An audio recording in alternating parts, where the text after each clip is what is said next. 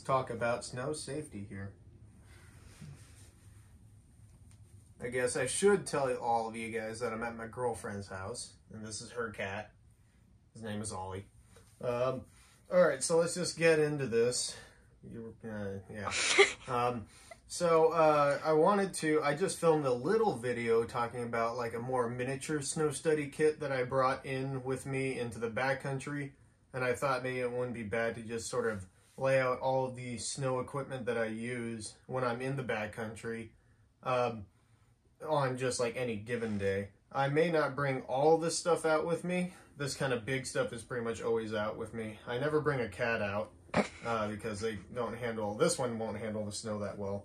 And then moving into kind of the more uh, smaller objects and toys for taking measurements and stuff, this is where I kind of start leaving some stuff behind depending on what I'm doing. Uh, but let's talk about the big stuff first. And this is obviously, this is going to be stuff that I always have out with me. I guess starting with the shovel. I upgraded my shovel and probe this year for something um, that fits my needs a little bit better. I went with the, this is the Black Diamond Evac 7. They make a 7 and a 9. And what I like about this shovel is the really large blade right here. Uh, so that way I can just scoop more snow up, which will allow me to dig a partner out faster if there's a burial and make me help me make snow pits faster. And uh, also has a nice sharp new blade. My last one was getting kind of chiseled out. Uh, as far as handles for shovels go, I like having the ability to extend this out. There we go. So that way you can get more digging room, nice T-shaped handle, which is really nice.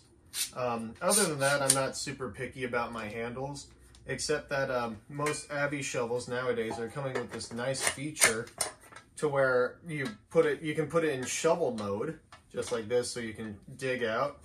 And then since it has that bend there, you can actually twist this around and put the shovel in what some people call hoe mode. And so uh, one is uh, this allows you for when you're doing strategic shoveling in an actual burial.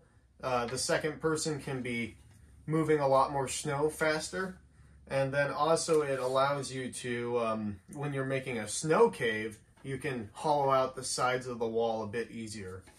I guess, um, I haven't tried this yet, but you could, I guess uh, it would make making snow pits a bit easier because it puts the shovel blade at a 90 degree angle. So you could probably get those walls more smooth with it. I'm going to have to try that one out in the future. But yeah, there's just a lot of advantages to being able to flip this blade over so I'm excited to try that out more this season. I also upgraded my avalanche probe to something a bit longer than I used to have. Uh, this is also made from carbon, so it's a bit lighter. But um, yeah, the I find that the numbers just wear off over time, and I had my last probe for a while, so the numbers were getting a little bit harder to read. This is my old probe. Um, yeah, you can see uh, it is a bit heavier. This is like carbon fiber sort of deal. And the numbers you can see in certain parts were getting worn off just from putting them in the snow and getting through ice layers. You can see the whole measurement lines are worn off on this one. So I just thought maybe it was time to get like a bit of a larger one. Uh, or a, just having a newer one was nice to help me read. Um, it also goes up longer. This one's a 235 probe, so it measures up to 235. Uh, the measurements on this one go up to 260, so it's a bit of a longer probe. Uh, both this one will also go as deep as 300 centimeters if you count this upper segment, uh, whereas this one is like a 280, I think. And so it just helps you with trying to measure that HS a little bit more in our in a, the Washington snowpack. And so, yeah, it was just kind of time to get a new probe. This one still has use, and I'll still use it for certain things, but this one's kind of my main avalanche probe I'm rolling around with. I guess actually to finish out the big three, carry a beacon with me while I'm in avalanche terrain. This is the Barryvox. Uh, I liked it because of the large amount of range that it gives me. And so um, that's kind of why I went with it. There's nothing else that really attracted me to it. Uh, snow saw. I will carry a snow saw with me, a 30 centimeter or 35 centimeter snow saw. uh, just for helping to isolate columns. Really, that's what I use this thing for in my snow test. Um, and so I just uh, I just like having uh, snow saw. It really helps dig through those ice and crust layers that we get here in uh, in Washington. This one's just made by BCA. All right, so moving on to the smaller equipment. Uh, this bag and kit is made by a company called Snowmetrics. And it's not exactly that they make specific things in this case, but they actually sell these online on their website. And um, instead of buying each individual thing you need, they sell the whole kit all together for a decent price. Um, I actually really like them. I added a few things to this kit and it comes with a nice carrying case to help keep things organized. I think they make a Pro 1 and a Pro 2 kit. So their Pro 1 is a bit more slimmed down. The Pro 2 is like the full-on test. So I think this is the Pro 2. But opening it up, so it pretty much comes with uh, everything you need. I did add a Rutschblock cord and another thermometer. It came with one thermometer. I, uh, I actually bought two digital thermometers and then changed one of the digital thermometers for an analog one, which fits my needs a little bit better, and I kind of like the analog a little bit more. But uh, all these are in Celsius. Um, and then, yeah, this whole kit just comes with pretty much everything you need. You have a ruler on the side that goes up to 200 uh, centimeters, which is generally as much as you need for any sort of snow pit. Uh, obviously, you could use your probe also for if you want something a bit longer or it's just nice to have a couple different measurements right there. Uh, you get your giant two inch brush that I never really use. Um, like I said, one thermometer, you can, I think they'll give you a digital or analog one. I kind of like having one of each. Uh, and if I just, usually I just roll with one thermometer and I'll go with the analog. Crystal card in the back right here. Of course, you have your one by one centimeter uh, blocks on there for measuring your crystals. Magnifying loupe. Uh, I like to go with a magnifying loupe that's at least 15 multiplication. Uh, they make ones that are like 10 or something like that. Uh, but 15 or even higher, like 20 or something, that's when it's really nice. I do plan on upgrading this loupe for something a bit more high powered in the future. But so far it's been working pretty well for me. And it's really nice that this case has this little square right here, so that way I keep it from being scratched. Oh yeah, there is a, a little slope indicator and a compass right here. Uh, I just kind of use apps on my phone to find the uh, actual angle of the slope. This one goes up to 50 degrees, but it's kind of neat. This is a BCA slope reader. They do have the little markings to show you kind of like prime avalanche slope angle right there. So it has a little red marking from 35 to 40 degrees.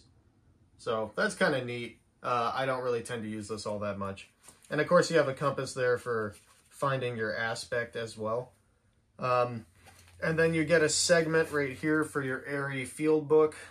As far as just going out with my friends and making a tour plan, this book is really great. It has all the panels and everything that you can write in it as far as going out and actually digging a pit for taking pit observations, I don't really like this book because that's kind of what they give you for pit observations. Uh, just is uh, doesn't quite have everything that I like to record when I'm taking pit observations. If I'm just out skiing and all I want to do is a quick like surface layer um, or the upper snowpack sort of observations, this would be fine. And if I wanted to do a quick compression or ECT test, then I could record that right here and that wouldn't be that big of a deal. But if I'm going out to take snow temperatures and um, go through a full test profile, I, I, would choose a different book than this.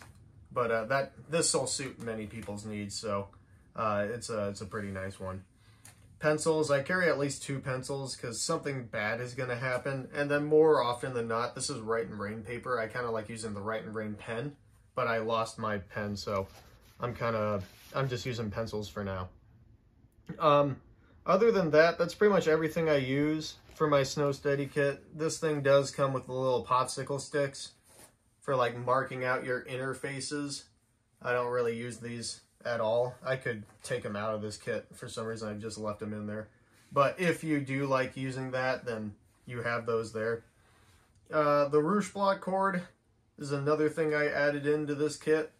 Uh, really, I didn't have to add too much equipment into this because it just comes with everything you need.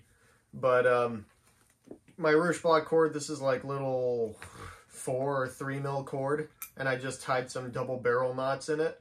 Uh, for something like if you're in Colorado or probably Idaho or you know a bit of a drier climate without as many ice layers, um, this could probably this will be just fine.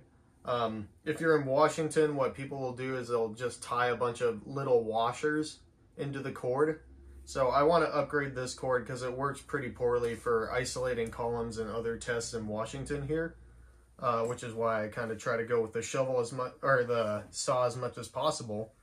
But uh, I found this thing, which is it's made by G3, and it's actually a kind of aftermarket Rutschblock cord.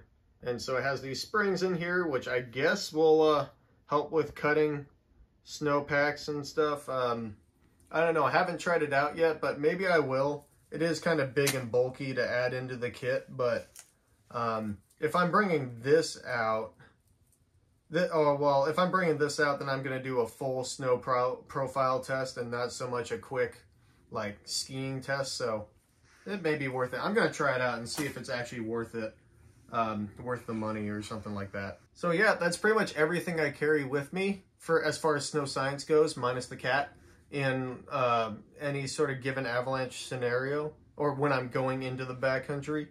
Uh, I may choose to carry this whole kit with me if I am planning to do a full test profile. But if I'm just out skiing, then I may pare down this kit to something like the crystal card, the thermometer, the loupe, and uh, and a block cord, and then that may be everything I bring out with me. Is just this stuff, my pencil and my book, actually. I don't want to forget that, so I need to be able to record stuff. Pencil, book, crystal card, Rutschblock cord, and thermometer, along with a snow saw. Maybe that's all I'll bring out with me if I'm just going out for a day of skiing, and I can leave like sort of the full body kit at home. Wait, I keep forgetting stuff. I'd also bring my loupe, because it's kind of hard to use the crystal card without the loupe. But that is actually my normal snow study kit that I would carry around. I'd leave the rest of this stuff at home. I have like a little bag I can keep all that stuff together in. But um, that may be all that I bring out for just a day of normal skiing. And then if I want to go the whole mile and dig the whole test pit and everything, I would bring a few more tools with me. But uh, that's pretty much it. Uh, thanks for watching, guys, and I'll see you in the next video. Oh. I'm recording. Yeah. Mm -hmm. Don't all let right. him eat my ski boot. All right, all right. I'll move your ski. All right, well, here we go. You lost interest. You want to eat the Rutschblock cord, Ollie? That's okay.